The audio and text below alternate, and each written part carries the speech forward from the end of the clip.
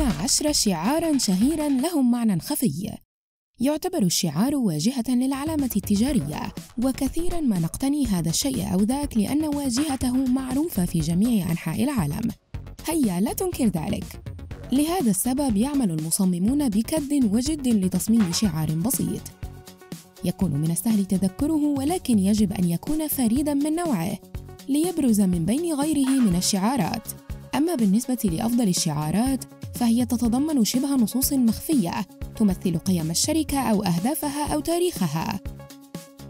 لذا إليك 12 شعاراً عالمياً لهم معنى خفي وسري. ولكن قبل أن نتوغل في عالم العلامات التجارية الناجحة لا تفوت فرصة مشاهدة واحدة من أروع الشعارات على الإطلاق بصفة يومية. نعم أنا أتحدث عن الجانب المشرق. ويمكنك الانضمام إلينا بضغطة بسيطة على ذلك الزر الأحمر للاشتراك. واقرع جرس الإشعارات حتى لا تفوتك أي من مستجداتنا اليومية. والآن لندخل صلب الموضوع. نبدأ أولاً ب رقم 12 Airbnb. يستخدم الناس خدمة Airbnb على شبكة الإنترنت لإيجاد أماكن رائعة يمكثون فيها في جميع أنحاء العالم. بدأ كل شيء بثلاث أسرة قابلة للنفخ في سان فرانسيسكو حيث استضاف المؤسسان براين تشيسكي وجو جيبيا أول زائرين لهما. لقد اختار شعارا غريبا حقا للشركة والذي يبدو كقصاصة من الورق ولكن في الواقع للشعار معنى أعمق مما يبدو للوهلة الأولى إنه يحتوي على أربعة عناصر بسيطة وذات مغزى يمثل رأس الإنسان مستخدم موقعهم. وتظهر علامة الموقع على الخريطة مكان المنزل أو الشقة. ويمثل القلب الحب. وأخيراً تجتمع هذه الرموز لصنع حرف A لكلمة Airbnb رقم 11 TripAdvisor. لنتحدث عن السفر. حتى وإن لم تكن بخبرة الرحال ابن بطوطة فقد رأيت هذا الشعار من قبل. إنه ينتمي لتريب أدفايزر ويمكن للمسافرين من جميع أنحاء العالم اختيار أفضل الفنادق للإقامة فيها وأفضل المطاعم يذهبون إليها وشركات الطيران التي تقدم أكثر العروض إغراءً.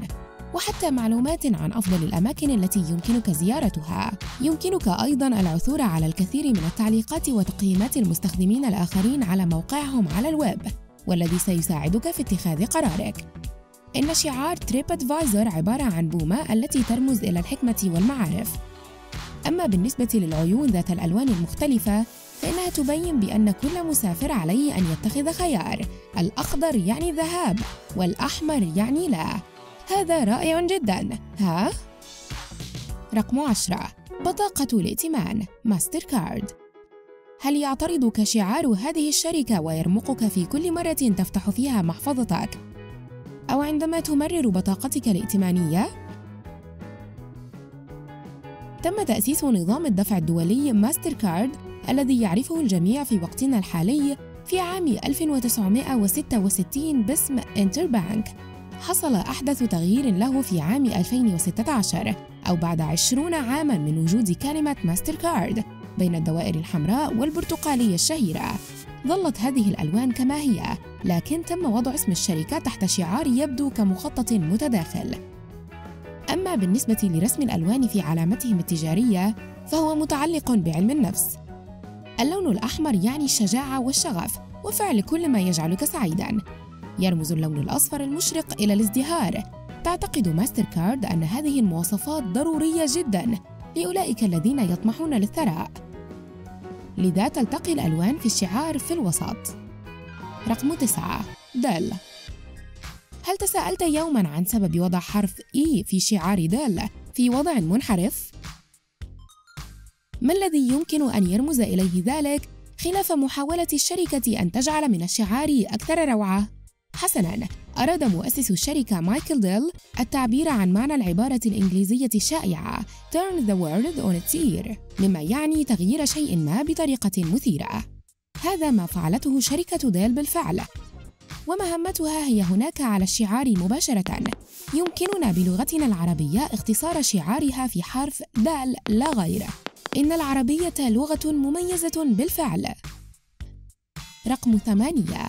ناشنال جيوغرافيك المجلة الشعبية والقناة التي تبث الأفلام الوثائقية في 171 دولة جعلت من شعارها مستطيلا أصفر وهو شعار بسيط وأنيق ولكن يحتوي على الكثير من الرمزية.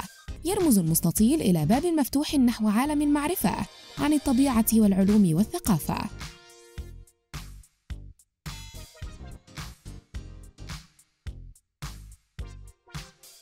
كان في اختيار اللون سببا وجيها أيضا. هل يمكنك تخمين ما يرمز إليه اللون؟ يشبه اللون الأصفر والمشرق. لقد فهمتها. الشمس. إنها كناية عن الشمس التي تشع على العالم بأسره وهي كذلك مصدر للطاقة والقوة. رقم سبعة. فودافون. ربما لم يسمع الكثير منكم ممن لا يعيشون في مصر أو قطر عن هذه الشركة. لكن فودافون شركة بريطانية للهاتف المحمول تعمل خاصة في أوروبا وآسيا وأفريقيا وأوقيانوسيا اختارت الشركة بضع العناصر الغامضة لوضعها في الشعار. قد يبدو للبعض كأنه سماعة. هل هذا ما رأيته حقا؟ حسنا. إنها في الواقع علامة تنصيص التي تستخدم للاقتباس.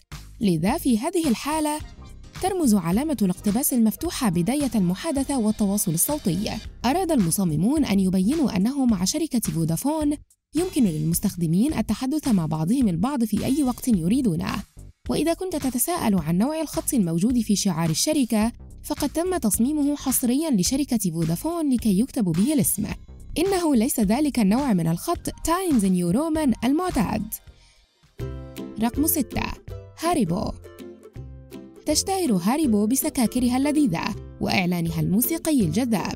ربما كنت تعتقد أنه منذ تأسست الشركة في ألمانيا أن كلمة هاريبو تعني حلوى الدب باللغة الألمانية ولكن لا ليس الأمر كذلك على الإطلاق.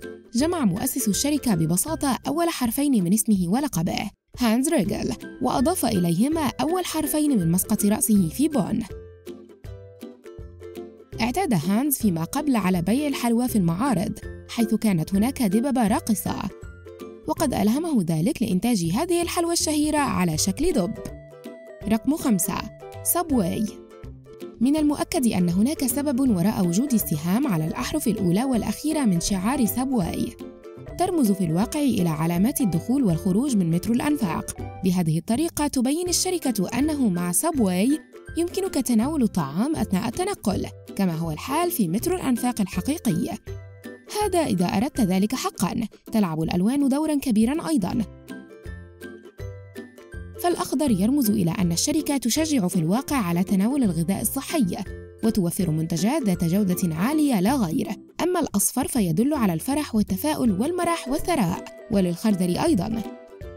تعتبر أكبر منتج للوجبات السريعة في العالم أفضل من Mickey D's والتي حققت نجاحا باهرا في 110 دولة. والتي تعرف الكثير عن الترف والثراء بمختلف معانيه. رقم أربعة DC Comics قررت شركة DC Comics بعد أن أمتعتنا بعرض العديد من الأبطال الخارقين المحبوبين والقصص المليئة بالأحداث الشيقة بتغيير شعارها في عام 2016 غضب المعجبون وطلبوا من الشركة التخلي عن الشعار القديم الذي اعتادوا عليه لسنوات طويلة. لكن لن يتمكن أحد حتى من تخمين الكم الهائل من المعاني الخفية لهذا التصميم الجديد. نشر مؤسس الشركة جيم لي في حسابه الخاص على الانستغرام للكشف عن ما يرمز إليه الشعار الجديد. تهدف الأركان والزوايا إلى استحضار رمز سوبرمان. ورمز WW إلى المرأة المعجزة Wonder Woman. وإشارة باتمان هل ترى كل من هذه الرموز على الشعار؟ رقم ثلاثة Mozilla Firefox يوجد هناك ثلاثة أنواع من البشر في هذا العالم عشاق سفاري أو كروم أو Firefox مهلا انتظر. هل ما زلت تستخدم Internet Explorer؟ أو هذا غريب. لنترك المزاح جانبا. وضع متصفح الويب الشهير Mozilla Firefox ثعلبا يجوب الكوكب بأكمله على شعاره. لكن أنا متأكدة بأنك لم تكن تعلم بأن ذلك الشيء ليس ثعلبا. الأمر أن Firefox الترجمة الإنجليزية للاسم الصيني للباندا الحمراء وبهذه الطريقة أرادت الشركة إظهار مدى تفردها لأن هذا النوع من الباندا نادر جدا ومعرض للانقراض. في سنة 2010 تبنت شركة Mozilla Firefox اثنين من الباندا الحمراء النادرة وتولت مسؤولية رعايتهما. إذا نعم Firefox ليست بثعلب على الإطلاق بل إنها باندا حمراء ظريفة. أوه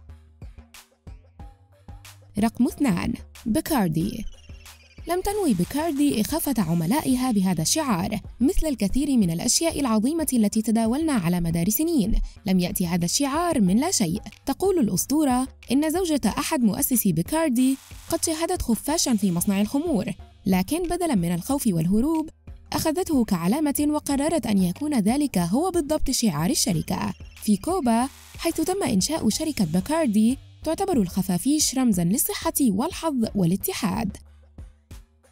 رقم واحد أوربت وأخيرا واحدة من أكثر الشعارات بساطة وسهولة في العالم. أراهنك على أن لديك علبة من علكة أوربت في جيبك الآن. إذا نظرت إلى الشعار عن كثب فستلاحظ أن حرف أو يظهر منقسما إلى جزئين. الجزء الأول داكن والجزء الثاني فاتح. وفي الخلفية يمكنك رؤية صورة مدار لذا من الواضح أن حرف أو يرمز إلى الليل والنهار وإلى كوكب يدور حول الشمس في الوقت الذي تعتبر فيه هذه العلكة الأكثر تكلفة في الولايات المتحدة خلال الحرب العالمية الثانية فإنها تتمتع الآن بأوج ازدهارها على الأقل وفقا لشعار حملتها الأخير أي من المعاني الخفية للشعارات فاجأتك أكثر من غيرها؟ أخبرنا بذلك في قسم التعليقات أدنى. لا تنسى الضغط على زر الإعجاب والنقر على زر الاشتراك للبقاء على الجانب المشرق من الحياة. إلى المرة القادمة.